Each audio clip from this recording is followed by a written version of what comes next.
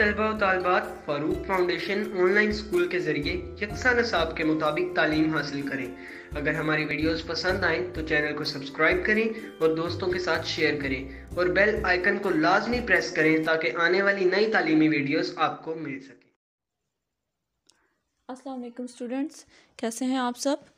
उम्मीद है आप सब खैरियत से होंगे। ऑनलाइन स्कूल से आप मुकम्मल तालीम हासिल करके बोर्ड का इम्तहान बर जमात नहमो दहम बेहतर तौर पर पास कर सकते हैं। आप अपनी उम्र और तालीम के मुताबिक मज़ीद तालीम हासिल करें। वालदेन से फ़ोन या कंप्यूटर पर हमारी वीडियोस के ज़रिए तालीम हासिल करने की दरख्वास्त करें। रोज़ाना एक से दो घंटे ऑनलाइन पढ़ाई करें। और जब आप स्कूल जाएँगे तो आपको मज़ीद किसी मदद की ज़रूरत नहीं होगी। इस तरह पढ़ाई करके आप अपना वक्त और अपने वालदेन के अखराज में बचत कर सकते हैं। ऑनलाइन स्कूल की कोई फ़ीस नहीं है। आप जूम पर भी क्लासेस का फ़ायदा उठा सकेंगे। हर मजमून की मुकम्मल तालीमी वीडियोस मौजूद हैं। आज का जो हमारा टॉपिक है, वो है data organisation and data analysis. Organise का मतलब क्या होता है? तरतीब देना किसी चीज़ को और एनालिसिस उसका तजिया करना। लेकिन इससे पहले जो हम प्रीवियस लेक्चर्स में डिस्कस कर चुके हैं, वो देख लेते हैं। हमने इस चैप्टर में बायोलॉजिकल मेथड्स के बारे में पढ़ा कि बायोलॉजिकल मेथड्स कौन कौन से होते हैं और किस लिए होते हैं।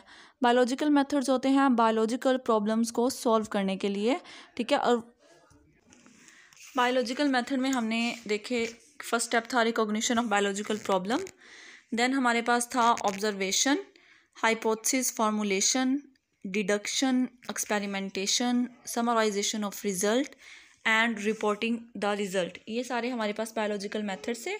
इसके अंदर सबसे हम लोगों ने पढ़ा रिकॉग्नाइज़ कैसे करते हैं प्रॉब्लम को, ठीक है? कि सबसे पहले बायोलॉजिकल प्रॉब्लम किसके जहन में आती है? या तो वो बायोलॉजिस्ट के जहन में भी आ सकती है, या फिर किसी और इंसान के जहन में भी आ सकती है, और वो पूछ सकता है तो वो क्या बन जाएगा? एक क्वेश्चन बन जाएगा, और वो क्वेश्चन कौन सा होगा? बायोलॉजिकल क्वेश्चन होगा। फिर उसको सॉल्व कहाँ से करना स्टार्ट करना है? सबसे पहले क्या है? उसको ऑब्ज़र्व किया जाता है, उसका मुशाहिदा किया जाता है। फाइव सेंसेस के ज़रिए। Sense of vision hearing smell taste and touch then quantitative और क्वालिटेटिव ऑब्जर्वेशन के बारे में कुछ पढ़ा था हम लोगों ने कि ज़्यादा एक्यूरेट जो है हमारे पास क्वांटिटेटिव ऑब्जर्वेशन होती है। देन हम लोगों ने पढ़ा था फॉर्मूलेशन ऑफ़ हाइपोथसिस कि हम लोग हाइपोथसिस जो है वो कैसे बनाते हैं। हाइपोथसिस क्या होती है? एक कोई भी एक टेंटेटिव आइडिया आर्जी जो हमारे जहन में ख्याल आता है, वो हमारे पास हाइपोथसिस हम लोग उसकी बना देते हैं। It should be a general statement it should be a tentative idea it should agree with available observation it should be kept as simple as possible it should be testable and potentially falsifiable ये सारी थी इसकी खसूसियात। किस चीज़ की खसूसियात थी? ये एक hypothesis की कि एक गुड हाइपोथसिस एक अच्छी हाइपोथसिस कैसे बन सकती है। देन डिडक्शन डिडक्शन का मतलब होता है किसी चीज़ में कमी करना और इसकी जो स्टेटमेंट बनती थी, उसके अंदर इफ़ और देन यूज़ हम लोग करते थे। देन हम लोग क्या करते थे? एक्सपेरिमेंट्स करते थे। एक्सपेरिमेंट में क्या करते थे? बार बार हाइपोथेसिस के ऊपर तजर्बात किए जाते थे। और फिर क्या है? उसकी वैलिडिटी चेक की जाती थी कि क्या ये ठीक है या नहीं है। फिर लास्ट में सेकंड लास्ट स्टेप क्या था? कि जो इसका रिज़ल्ट है उसको समराइज़ किया जाता था। किस तरह समराइज़ किया जाता था? डाटा की फॉर्म में ठीक है? टेबल्स की फॉर्म में इसको समराइज़ कर दिया जा, जाता था शॉर्ट फॉर्म में ठीक है? उसके बाद लास्ट स्टेप था इसका रिपोर्टिंग द रिज़ल्ट कि हम लोगों ने, जो रिज़ल्ट हम लोगों ने निकाला है, उसको रिपोर्ट करना है, उसको पब्लिश कर देना है। कैसे पब्लिश करना है? हम लोगों ने बुक्स में छुपवा सकते हैं साइंटिफिक जर्नल्स में, ठीक है न्यूज़ में टीवी में नेशनल और इंटरनेशनल मीटिंग्स और सेमिनार्स वगैरह में। यहाँ तक हमारा कंप्लीट हुआ टॉपिक बायोलॉजिकल मेथड का। उसके बाद हमारे पास नेक्स्ट टॉपिक था स्टडी ऑफ़ मलेरिया कि मलेरिया की स्टडी जो है वो किस तरह की गई और उसका कैसे उसकी हाइपोथेसिस बनाई गई, कैसे उसकी ऑब्जर्वेशंस ली गई, कैसे फिर उसकी एक थ्योरी बना दी, ठीक है? सबसे पहले मलेरिया में हम लोगों ने क्या देखा था कि मलेरिया जो है एक कॉमन डिज़ीज़ थी तकरीबन आज से 200-300 साल पहले और ये तकरीबन ज़्यादातर किन इलाकों में पाई जाती थी, जो कि मार्शी एरियाज़ थे, दलदली इलाके थे, जहाँ पे गंदा पानी या खड़ा पानी जो है वो मौजूद होता था। इसका नाम जो है वो रखा ही मलेरिया इस पेस पे गया था कि mala bad and aria air ठीक है बैड एयर पे कि ये जो है एक बुरी हवा है। क्या आ, क्या माना जाता था उस ज़माने में कि जो गंदा पानी है आ, गंदे पानी में क्या होता था जहर पैदा हो जाता था जिसकी वजह से हवा जहरीली हो जाती थी। और जब वहाँ के लोग उस हवा में सांस लेते थे तो उन्हें क्या हो जाती थी ये डिज़ीज़ ये बीमारी हो जाती थी जिसका नाम जो है वो मलेरिया रख दिया गया था। सेवनटीन सेंचुरी में क्या हुआ अमेरिका दरियाफ्त हुआ और वहाँ पे जो एक दरख्त पाया जाता था क्वीना क्वीना ठीक है? उसकी बार्क से इसका जो है वो इलाज जो है वो ट्रीटमेंट जो है वो स्टार्ट हो गया। बाद में क्या हुआ? क्वीना क्वीना की कमी की वजह से जो वहाँ के मार्चेंट्स थे, ताजर थे, उन्होंने बेईमानी दिखाई डिसऑनेस्टी दिखाई और क्वीना क्वीना जैसा एक और दरख्त किनकोना जो है वो उन्होंने भेजना स्टार्ट कर दिया। लेकिन उस डिसऑनेस्टी का फ़ायदा क्या हुआ? कि वो किनकोना जो है वो ज़्यादा अच्छी मेडिसिन जो है वो साबित हुई क्वीना क्वीना से। बाद में ये कहा गया कि प्लाज जो मलेरिया जो है वो किस वजह से फैल रहा है। तो जब मलेरियल पेशेंट्स का ब्लड देखा गया तो उन्होंने क्या देखा कि उनके ब्लड में क्या था? एक लिविंग ऑर्गेनिज्म जो है वो पाया जाता था, लिविंग क्रिएचर था, ठीक है? जिसको क्या नाम दे दिया गया? प्लाज्मोडियम नाम दे दिया गया। फिर बाद में हाइपोथेसिस बनाई गई। क्या हाइपोथेसिस बनाई गई थी? कि प्लाज्मोडियम जो है वो मलेरिया का काज है, उसकी वजह है। इसके बाद उन्होंने एक्सपेरिमेंट किए। हंड्रेड मलेरियल पेशेंट्स का ब्लड लिया और हंड्रेड जो है वो हेल्दी पर्सनस का ब्लड लिया और फिर उसके अंदर देखा कि प्लाज्मोडियम पाया जाता है या नहीं पाया जाता। तो उनका क्या रिज़ल्ट निकला कि जितने भी मलेरियल पेशेंट थे सब के ब्लड में क्या पाया गया? प्लाज्मोडियम पाया गया। लेकिन जो हेल्दी पर्सनस थे, उनमें से भी सात के ब्लड में प्लाज्मोडियम जो है वो पाया गया। लेकिन वो तो हेल्दी थे, उन्हें तो मलेरिया कोई बीमारी हुई नहीं थी। तो बाद में ये पता चला कि अभी तक उनके अंदर प्लाज्मोडियम तो जा चुका है, लेकिन अभी तक उसने अपनी कोई सिम्टम्स जो है वो शो नहीं की। उसके बाद जो है, एक साइंटिस्ट जो है, वो आया ए एफ़ ए किंग एक फिजिशियन आया, उसने जो है, कुछ ऑब्जर्वेशंस दी, फिर उसने क्या किया, एक हाइपोथेसिस बना दी। क्या बनाया? उसने कि plasmodium should be present in the mosquitoes plasmodium जो है, वो मॉस्किटोज़ के, मच्छरों के जो ब्लड है, उनके अंदर पाया जाता है। उसके बाद इसके फर्दर स्टडी की गई और एक्सपेरिमेंट्स किए गए। तो क्या इसका रिज़ल्ट निकाला कि जो प्लाज्मोडियम जो है, वो मले मॉस्किटोज़ में पाया जाता है और वो मॉस्किटोज़ जो हैं, जब एक ह्यूमन को बाइट करते हैं तो उनके अंदर चला जाता है और फिर इससे ह्यूमन्स को मलेरिया हो जाता है। नेक्स्ट टॉपिक है data organisation and data analysis data क्या है हमारे पास? डाटा की हम लोग अभी डिफाइन पढ़ेंगे। ऑर्गेनाइजेशन किसी चीज़ को तरतीब देना एंड एनालिसिस उसका तजिया करना। Data organisation and data analysis are important steps in biological method हम लोगों ने जो बायोलॉजिकल मेथड पढ़े हैं, उनके दो इंपॉर्टेंट स्टेप्स क्या हैं? डाटा ऑर्गेनाइजेशन और डाटा एनालिसिस भी हैं। अब नीचे यहाँ पे ये डाटा की डिफ़ाइन दी गई है। पेपर में अक्सर जो है ये डाटा की डिफ़ाइन पूछ ली जाती है कि वट इज़ डाटा या defined data data can be defined as the information data क्या है? एक ऐसी इंफॉर्मेशन है, जैसे कि नेम्स है डेट्स हैं वैल्यूज़ है made from observation and experimentations लेकिन वो नेम्स डेट्स और वैल्यूज़ आनी कहाँ से चाहिए? ऑब्जर्वेशन और एक्सपेरिमेंट से आनी चाहिए, ठीक है? तो वो क्या होगी? साइंटिफिक हमारे पास जो है, वो डाटा हमारे पास इकट्ठा हम लोगों ने करना है। ये नहीं कि किसी भी इंसान का नाम या किसी भी इंसान की जगह या उसकी वैल्यूज़ ठीक है? उसकी डेट्स जो है, वो हम लोग, उसको हम डाटा का नाम देंगे। वो हमारे पास डाटा नहीं होगा बल्कि ऐसा डाटा ठीक है ऐसी इंफॉर्मेशन जो कि हम लोग डेट्स से ले रहे हैं किसी भी ऐसी ऑब्जर्वेशंस और एक्सपेरिमेंट्स के ज़रिए से जो डेट्स ले रहे हैं नेम्स ले रहे हैं वैल्यूज़ ले रहे हैं उनको हम लोग डाटा का ना, नाम देंगे। डाटा असल में क्या है? एनी काइंड ऑफ़ इंफॉर्मेशन ठीक है? एनी काइंड ऑफ़ इंफॉर्मेशन कोई भी इंफॉर्मेशन है जो हम हासिल कर रहे हैं किससे? ऑब्जर्वेशन से और एक्सपेरिमेंटेशन से।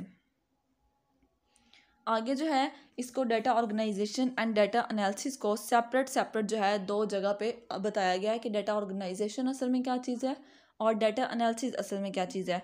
डाटा ऑर्गेनाइजेशन को पहले पढ़ लेते हैं। In order to formulate and then to test hypothesis ठीक है? फॉर्मुलेट हम लोगों ने एक हाइपोथसिस जो बना लिया, उसको टेस्ट चुप करना है। Scientific collect and organize data scientist क्या करते हैं? कलेक्ट करते हैं, इकट्ठा करते हैं एंड ऑर्गेनाइज और तरतीब दे देते हैं एक डाटा को। प्रायोर प्रायोर का मतलब होता है पहले। Prior to conducting an experiment it is very important for a scientist to describe data collection method सबसे पहले, किसी भी एक्सपेरिमेंट को करने से पहले साइंटिस्ट को क्या बताना चाहिए? बताना चाहिए कि उसने जो डाटा इकट्ठा किया है, वो कहाँ से इकट्ठा किया है, ठीक है?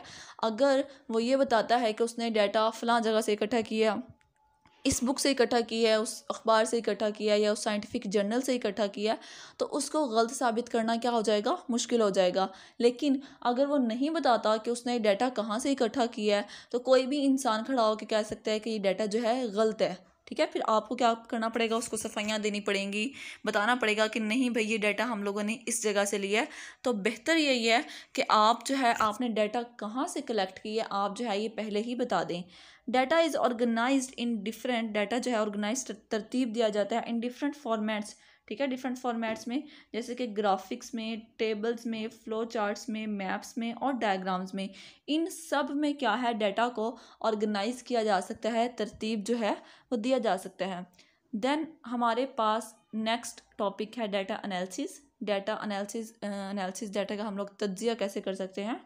Data analysis is necessary to prove or disapprove a hypothesis by experimentation. Data analysis क्या है एक ज़रूरी चीज़ है किस चीज़ के लिए कि एक hypothesis जो है वो सही साबित होती है या फिर सही साबित नहीं होती it is done through the application of statistical method ठीक है? स्टैटिस्टिकल मैथड्स कौन से होते हैं? आप लोगों को पहले ही बताया था स्टैटिक्स ठीक है? जो स्टैट्स होती हैं, जिसके अंदर हम लोग मीन मोड मीडियंस के बारे में पढ़ते हैं, वो क्या है? एक स्टैटिकल्स मेथड है। उनके ज़रिए जो है डाटा को क्या किया जाता है? चेक किया जाता है। और वो दो स्टैटिकल्स मेथड्स के बारे में इन्होंने हमें बताया हुआ है। और उनका नीचे ज़िक्र भी किया हुआ है। वो कौन कौन से हैं? रेशो और प्रोपोर्शन कौन से दो एप्लीकेशन कौन से दो मेथड्स के बारे में बताया गया है? रेशो और प्रोपोर्शन अब उसके बाद ये बताएँगे कि रेशो असल में है क्या चीज़? रेशो की डिफ़ाइन बताइए। When are relation between two numbers ठीक है? किसी भी दो नंबर्स के दरमियान में रिलेशन रिलेशन कहते हैं ताल्लुक हो ठीक है? किसी भी दो नंबर्स के दरमियान में जो ताल्लुक होगा, उसको क्या बोलेंगे? रेशो बोलेंगे। जिस तरह के ए एंड बी कहा हुआ है। यहाँ पे ए एंड बी भी आ सकता है सी एंड डी भी आ सकता है। वाई एंड जी भी आ सकता है। Is express in terms of question question क्या होता है? बटे की फॉर्म में ठीक है? जो लिखा जाता है डिवाइड वाली फॉर्म में जो लिखा जाता है तकसीम वाली में उसको क्वेश्चन बोलते हैं। तो आ, हमारे पास रेशो क्या है कि किसी भी दो चीज़ों का दो नंबर्स का आपस में जो ताल्लुक है और उनको जब हम किसी भी क्वेश्चन की फॉर्म में क्या कर सकते हैं एक्सप्रेस कर दें, ज़ाहिर कर दें तो वो क्या बन जाती है हमारे पास? रेशो बन जाती है। It is called the ratio of one number to the other इसको कॉल बोला जाता है, एक नंबर की दूसरे नंबर से क्या है? रेशो है। रेशो में be expressed by putting a division और कॉलन ठीक है? रेशो को दो तरीक़ों से जो है वो ज़ाहिर किया जा सकता है, किससे? कॉलन कॉलन कहते हैं जो दो नुक्ते लगे हुए हैं, इनको कॉलन बोलते हैं और डिवीज़न तकसीम वाले मेथड से, ठीक है? Mark between the two numbers, जो कि दो नंबर्स के दरमियान में क्या है? मार्क की होती है, लगी होती है। For example the ratio between fifty malarial patient and one fifty normal person is one three अब वो कह रहे हैं कि दो उन्होंने रेशो लिए हैं। किस चीज़ की रेशो लिए हैं? पचास जो है, वो मलेरियल पेशेंट ले लिए हैं और एक सौ पचास नॉर्मल पर्सन ले लिए हैं। ठीक है? अब इन दोनों की जब पोर्शन रेशो निकालनी है तो कैसे रेशो निकालेंगे वो? एक साइड पे लिखेंगे फिफ्टी ठीक है? दरमियान में किस चीज़ का निशान लगा देंगे? कॉलन लगा देंगे या फिर डिवीज़न लगा देंगे? और उसके दूसरी साइड पे क्या लिख देंगे? One fifty. अब देखें, यहाँ पे डिवीज़न कहा गया है तो हम लोग डिवीज़न इसको डिवाइड कर सकते हैं, fifty divided by one fifty. तो क्या आ जाएगा? One by three. Zero zero से कैंसिल, पाँच, एक, पाँच और पाँच, तीन, पंद्रह। ठीक है? तो इसकी रेशो क्या आ जाएगी? वन वन रेशो थ्री आ जाएगी हमारे पास। यहाँ तक देख लें सबसे पहले कि डाटा ऑर्गेनाइजेशन जो है, क्या है? डाटा को ऑर्गेनाइज करना, तरतीब देना डाटा ऑर्गेनाइज किसी भी फॉर्म में किया जा सकता है। ग्राफिक्स के फॉर्म में किया जा सकता है टेबल्स की फॉर्म में किया जा सकता है फ्लो चार्ट्स की मदद से किया जा किया जा सकता है मैप्स में भी और डायग्राम्स में भी, ठीक है? इन सब में जो है डाटा को ऑर्गेनाइज किया जा सकता है। रेशो क्या है? किसी भी दो नंबर्स का आपस में जो ताल्लुक है, उसको रेशो बोलते हैं और उसको एक्सप्रेस किससे किया जाता है, किस चीज़ से रिप्रेजेंट किया जाता है, या तो कॉलन से जो दो नुक्ते ऊपर नीचे लगे हुए हैं, उसको कॉलन बोलते हैं, या फिर डिवीज़न से, तकसीम के निशान से।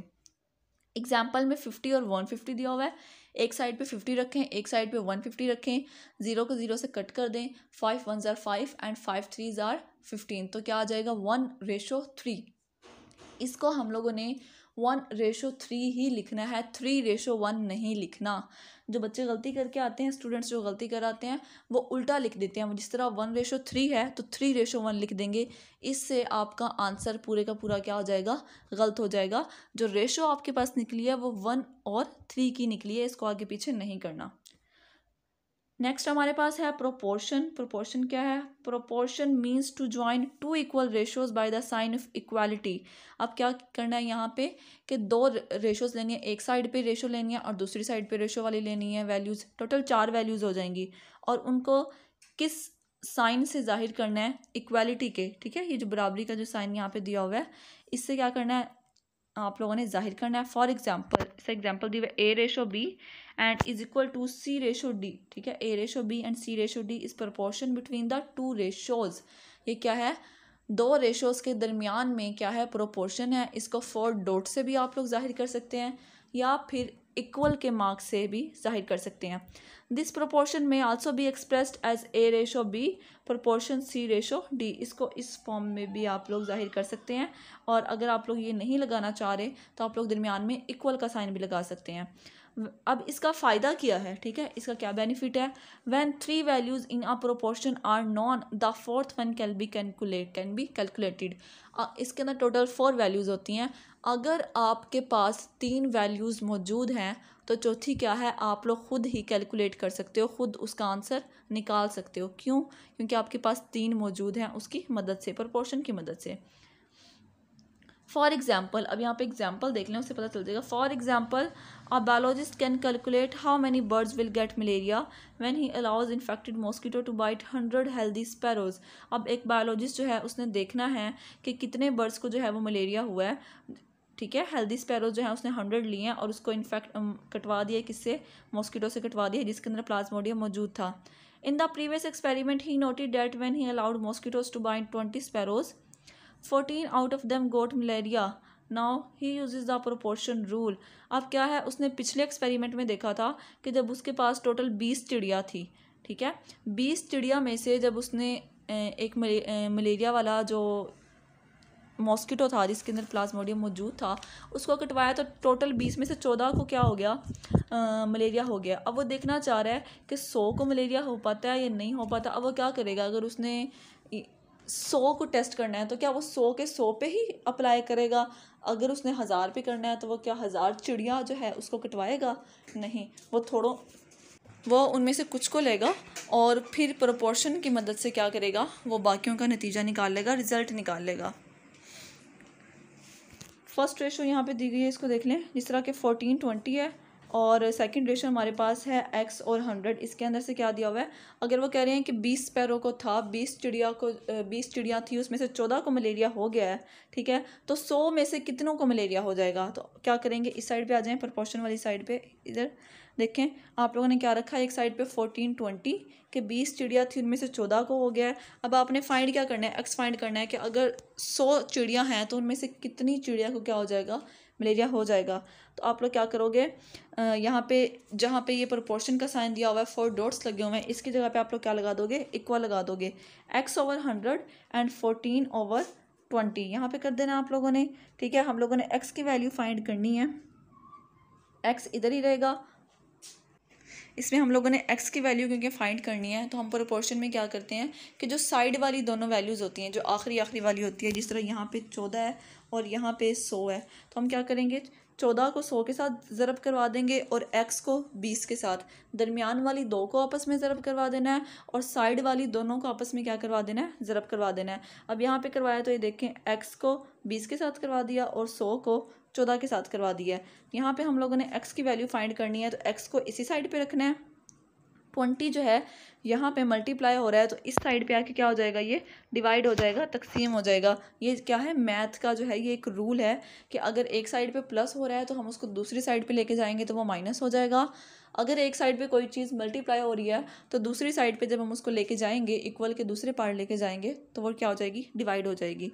सेम उसी तरीके से एक्स के साथ यहाँ पे ट्वेंटी था तो हमें तो सिर्फ़ एक्स की वैल्यू चाहिए तो ट्वेंटी का हम लोगों ने क्या करना है? ट्वेंटी यहाँ पे मल्टीप्लाई हो रहा है तो इस साइड पे आके क्या हो जाएगा? डिवाइड हो जाएगा। अब करें इसको डिवाइड। जब आप लोग डिवाइड करते हैं तो इसका आंसर क्या आ जाता है? सेवेंटी मतलब कि सौ में से तकरीबन सत्तर को क्या हो जाएगा? मलेरिया हो जाएगा। बीस में से चौदह को मलेरिया हुआ था तो अब क्या है? सौ में से कितनों को मलेरिया हो जाएगा? सत्तर को मलेरिया होगा। It means seventy out of hundred sparrows would get malaria इसका मतलब ये है कि सौ में से सत्तर को क्या हो जाएगा? मलेरिया हो जाएगा। Statistics are thus a means of summarize summarizing data through the calculation of a mean value this step is very important as it transforms raw data into information which can be used to summarize and report result statics जो है, ये जो math के जो यहाँ पे method बताए गए हैं, ये बायोलॉजिकल मेथड में बहुत ज़्यादा इंपॉर्टेंट हैं और इन्हीं की मदद से क्या कर सकते हैं, हम अपना पूरा एक्सपेरिमेंट कर सकते हैं और फिर अपने रिज़ल्ट को क्या कर सकते हैं पब्लिश कर सकते हैं। नेक्स्ट जो हमारे पास है वह है mathematics as an integral part of scientific process mathematics जो है वो कैसे एक इंपॉर्टेंट पार्ट है किस चीज़ का? साइंटिफिक प्रोसेस का। Biological method also involves the use of applied mathematics to solve biological problem biological problems में क्या है? जो अप्लाइड मैथमेटिक्स है वो क्या होती है? यूज़ होती है, इस्तेमाल होती है किस चीज़ के लिए? साइंटिफिक जो प्रॉब्लम्स होती हैं उनको हल करने के लिए। जिस तरह ऊपर जो है वो मैथ इस्तेमाल हुई है। क्यों इस्तेमाल हुई है? कि मलेरियल पेशेंट का और हेल्दी पर्सनस का देखना था। ठीक है? या फिर स्पैरो वाला जो है, उन्होंने बताया कि बीस में से चौदह को था तो सौ में से कितनों को होना चाहिए? इसके अंदर भी क्या था कि हमारे पास मैथ की टेक्निक्स जो हैं, वो यूज़ हुई हैं। तो सेम उसी तरीके से किसी भी बायोलॉजिकल प्रॉब्लम को सॉल्व करने के लिए मैथ जो है, वो एक इंपॉर्टेंट पार्ट है। Major biological problem in which knowledge of mathematics is use include अब बायोलॉजिकल प्रॉब्लम कौन कौन से हैं जिनके अंदर मैथमेटिक्स जो है, वो ज़्यादा यूज़ होती है? Gene finding protein structure, protein protein interaction के एक प्रोटीन का दूसरे प्रोटीन के साथ क्या, कैसा लिंक है, उसके अंदर क्या है, इन सब में क्या हो रहा है, हमारे पास मैथमेटिक्स जो है वो यूज़ हो रही है मैथ जो है वो इस्तेमाल हो रही है।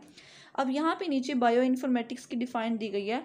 ये अक्सर जो है पेपर में आई होती है as a short question bioinformatics refers the computational computational क्या कहते हैं? जिसको कंपीट करवाया जाए कंप्यूटेट करवाया जाए मीन्स के आपस में क्या किया जाए? कंपेरिजन करवाया जाए.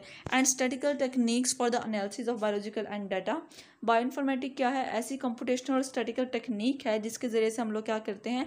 अनालिसिस करते हैं, तजिया करते हैं, किस चीज़ का तजिया करते हैं? बायोलॉजिकल डाटा का. हमारे पास जितना भी बायोलॉजिकल डाटा मौजूद है, हम लोग उसकी जब अनालिसिस करेंगे तो वो किन के ज़रिए से करेंगे? कंप्यूटेशनल और स्टडिकल टेक्निक्स के ज़रिए से करेंगे, जो किसके अंदर आ जाती है? बायो इन्फॉर्मेटिक्स में आ जाती है। हमारा आज का चैप्टर सेकेंड चैप्टर जो है, वो कंप्लीट हो गया उम्मीद है आप सबको समझ आई होगी। थैंक यू अल्लाह हाफिज़।